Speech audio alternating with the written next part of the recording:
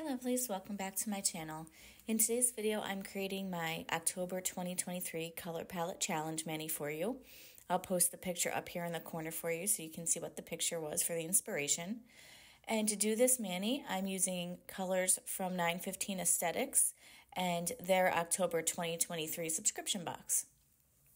So I'm going in with this first color, which is a gorgeous purple called Toil and Trouble. And I'm applying this to my index finger, and I'll also be applying it to my ring finger. I kind of sped up this for you, but I'm going to talk through it a little bit. This color does glow, which I will get on the end pictures for you so you can see how that glows.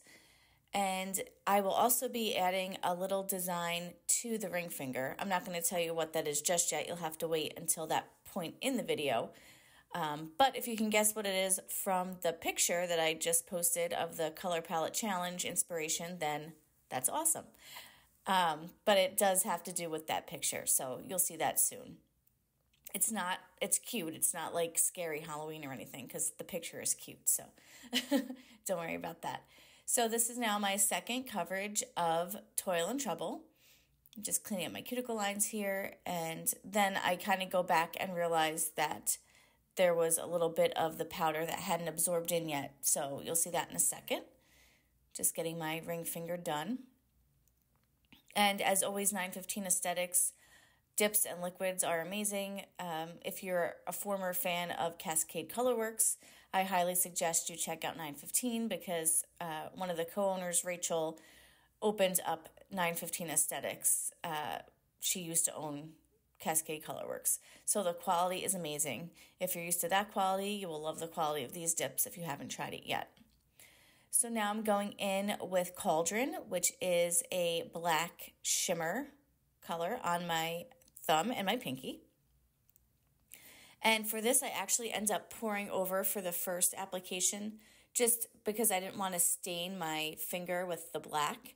But you'll see here, I end up actually dipping into my dip cup there for the second application and there was no staining at all, which is amazing.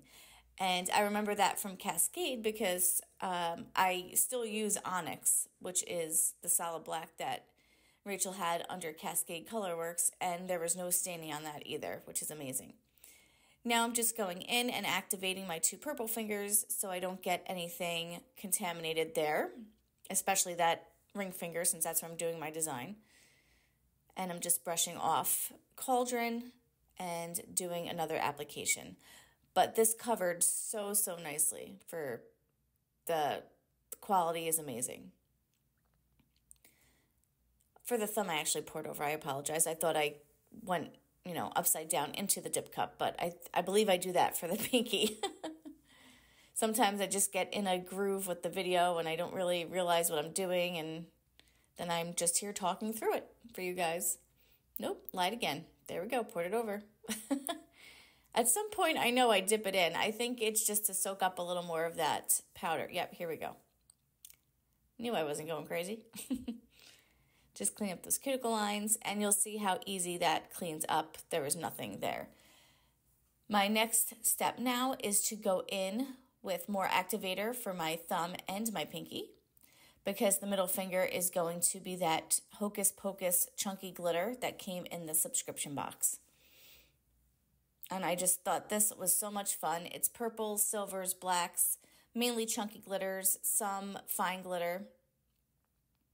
And I'm just applying this to my middle finger. I end up kind of going detailed here and I show a lot on camera for this nail.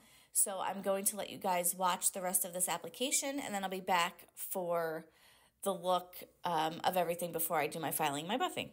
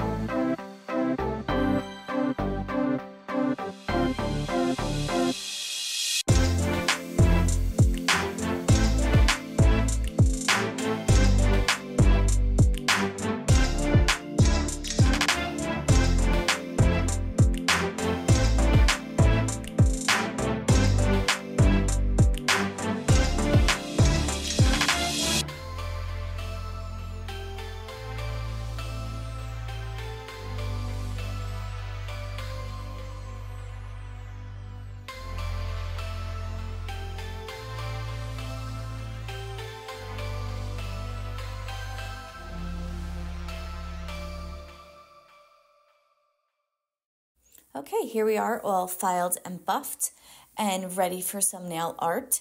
So I am taking these Artistro fine tip acrylic paint pens and I'm going to draw a little half pumpkin on my ring finger in the corner. So to do this, I start by making sure the pen is nice and ready to go. And I kind of make like the top of a heart. Um, so just like, you know, the bump of the heart without obviously doing the whole thing. And this kind of creates that top of a pumpkin shape. And then with the marker, I just fill in the rest of what would be the pumpkin that's peeking out there. Now you might have to go back in and do this a couple of times to make sure it's all covered up. I actually ended up doing this three times total, but I did the other two off camera. And you do want to make sure that everything is dry before you go in with the next layer because it will start to rub away at that paint. But this does dry fairly fast, which is awesome. So I will link these paint pens down below because I've used them um, I used them for another video that I ended up not posting, but they did work out really well. But this is like my first video using them. So I will link those down below from Amazon. I think they were like maybe $10 if I had to guess, or between 10 and 15. So now my next step is going in with another paint pen. This one is silver. And I'm going to go ahead and outline that portion that I just did with the white. Again, making sure that the white is completely dry before you do this because you don't want to run that silver into the white if it's not dry. And it's kind of faint to see at first, but then when I go in with more detail, you can kind of see how the outline came out. And now I'm just making those kind of like pumpkin lines with the marker. So I go down from one diagonal to the next and then cross it the other way and then I go from that point again and go out and do another line. And then on the other side, I do another line as well. So this kind of creates those ridges in the pumpkin. And the reason why I decided to do white for the pumpkin was because I just love the look of a white pumpkin. And there was white in that color palette that I wanted to pick up, as well as I did the silver because I thought it went well with the glitter and the purple and the black. So I'm just kind of refining my lines here making sure everything is nice and visible. And I did not go back over the silver lines. These stayed the way they were, which was really nice. And now for my next step, I'm taking a green acrylic paint pen, also from that same Artistro set, and I'm creating a little stem here. So I'm just kind of going up from that middle part of the top of the pumpkin, creating a little stem, and then I kind of do like a little twirl out from the pumpkin to make like a little vine coming out. And that is my little pumpkin design. So now that it's all dried and ready to go, you can go ahead with whatever top coat you prefer. I'm going in with 915 Aesthetics. And this is my first application. And then I go back in off camera and I do the second application. So just three quick stripes, swipes, not stripes, on each nail and I kind of work everything, you know, my thumb, pointer. I leave the painted finger for last, which you'll see here in a moment. Doing that glitter nail.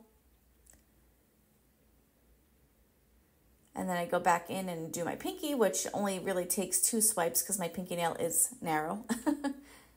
and now I go ahead and I do the nail with the pumpkin on it and then I let that dry for like another 10 seconds and then I can go back in and do my second coat.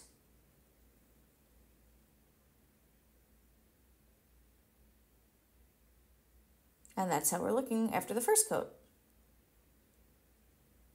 All right, here everything is all top coated and nice and shiny. Now I'm going to go ahead and use my Marshmallow Pumpkin Cuticle Oil from Oil Oasis and get that all nice and hydrated up. I really hope you enjoyed watching this video and that you learned something from it. If you did enjoy it and you haven't subscribed subscribed already, I would really appreciate it. And also if you would give me a thumbs up. It's free, it costs nothing, and it helps me grow my channel. I really love the smell of this oil. I've used it on other videos as well, and it just smells amazing.